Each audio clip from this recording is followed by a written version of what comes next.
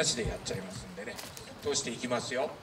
えー、あかっくんですね、えー、サバ缶を売ってるかっくんでございます。あああと2缶。あおかえり。これからおかえり。また出なくなっちゃった。ね孫来て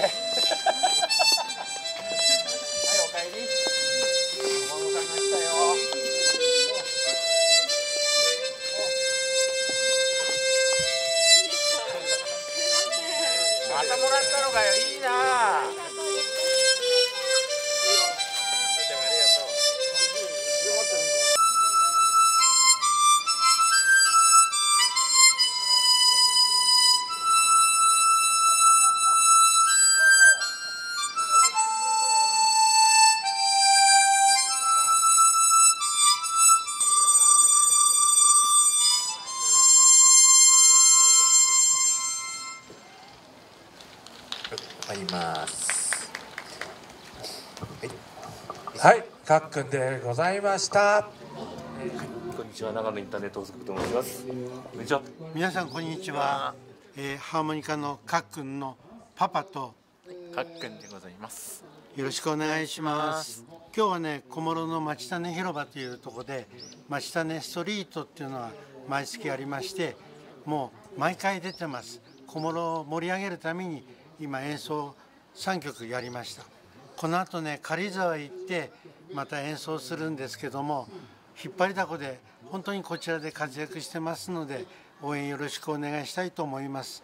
かっくん一言。どうでした？今日の出来は。はい、よかった。今日は良かったです。よかったですか？はい、良かったです。お名前はかっくんって言うんですね。はい、かっくんどうもはじめまして。はじめまして。えー、ハーモニカえー、年合ったのはもうだいぶ前からなんですか？はい、だいぶ前ですね。えっ、と17歳の頃からで出会いました。ハーモニカの魅力っていうのは何でしょうかね？はい、活用ですかね？ちょっとよくわかんないけど、何曲ぐらいレパートリーがあるんでしょうか？8曲。素晴らしいですじゃあ練習するだけでもね何時間もかかっちゃいますよねはい、はやったいけど、最初からね結構やってましたね。あ最初は大変だったけどでした。今はいつでもどこでも歌えるじゃなくて演奏できるといった感じでしょうか。はい。えーこの後まだ軽井沢、えーライブ残ってます。早速行ってみましょう。はい。お父さんもはい。一曲頑張ってください、頑張りますんでよろしくお願いします。ありがとうございました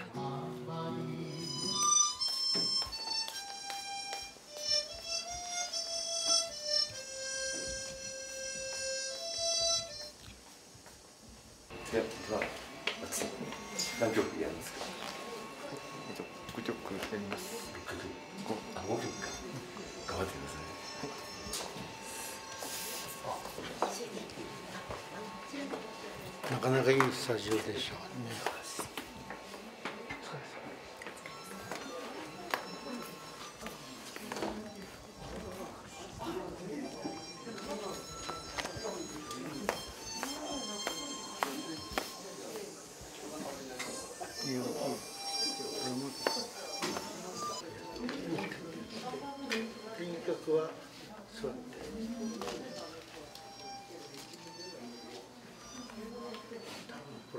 自分で立てたんで大丈夫だと思う。次のミュージシャンは皆さんおなじみのかっくんです。先日落雷の事故で亡くなった外国人の追悼の演奏をしてきました。様子は翌日の10月31日の信濃新聞に新米新聞になりました。スマホをかざすと僕の演奏や様子が聞こえてきます。便利な世の中になりました。よろしくお願いします。かっくんでした。ということです。ではかっくんよろしくお願いいたします。皆さんこんにちは。ハーモニカのかっくんです。緒に男は伝えをやりたいと思います。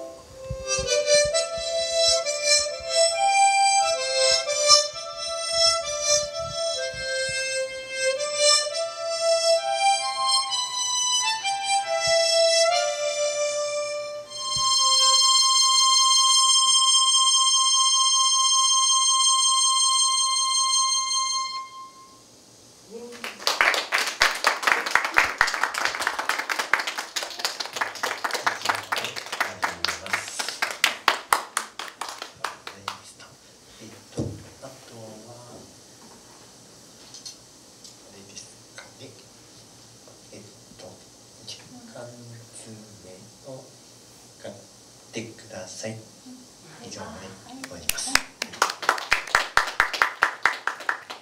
はい、お疲れ様でした。えっ、と、今、軽井沢のライブが終わりまして、えー、ここへ来ていただきました。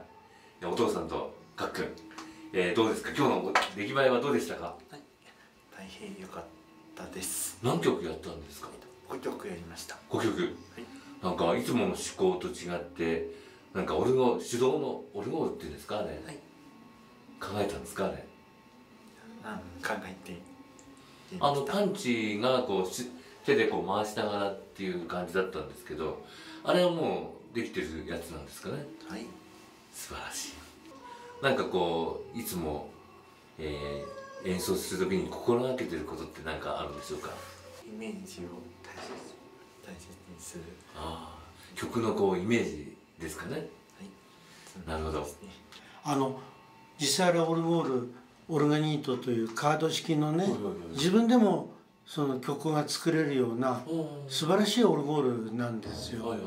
でオルゴール屋さんでねこれを勧められた時に、はい。ハーモニカと一緒にできるんじゃないか。うところがどっこいものすごく難しいの。もうオルゴールの音に聞き取られちゃうと、うん。ハーモニカなんかできませんし、うんだからしっかり音が聞き分けできるからハーモニカの演奏がやっぱ間違いなくできるんでしょうね。そして最近なんかあの、えーすごい演奏をされたっていうお聞きしたんですけども。えっ、とはい。小布施町という栗の有名なところなんですけど、そこに栗ヶ丘クリニックという心の病を見る病院があるんですよ。不登校とか引きこもりとかうつ病の方たちの憩いの場の待合室でかっくんが演奏を頼まれてよく行くんですね。そこであの映画祭がありましてはい。体内にいた時の赤ちゃんの記憶がある子がいっぱいいるというドキュメンタリー番組でうん。それを作られた時の方なんかが東京からわざわざお布施へ来られてそういう座談会があったんですね。その席でかっくんが演奏したんですよ。なかなか緊張したんじゃないですか？まあ緊張はあんまりしんやっぱハーモニカを持ってるっていうことが守り神みたいでお守りなんですね。うん。だからハーモニカを吹いてる時はもう自分じゃないと。うなんか神が乗り移ってるような。本当にその神がかってるという。だからそういう方たちの前へ行ってもその場に適した適材適所という演奏ができるっていうのはなんかそう持って生まれたやっぱ感性持ってるんでしょうねきっとね。どうしたらかっくんが安定して気持ちよく楽しく演奏できるかっていうことを常に考えてます。だからそれが発達障害をの子の親にしたら車の免許も取って車も持って車のローンも自分で働いては払ってしかもこうやってステージに立ってるっていうことがすごい生きがいになってるみたいですね。障害者を持っちゃうともう障害者だから何もできないって諦めちゃう親が多いんですよ。ところが自分のちゃんと趣味というか楽しみを持ちつつ子供も成長できるというねそういうモデルになってくれてるわけですわ。これはもうでかいと思います。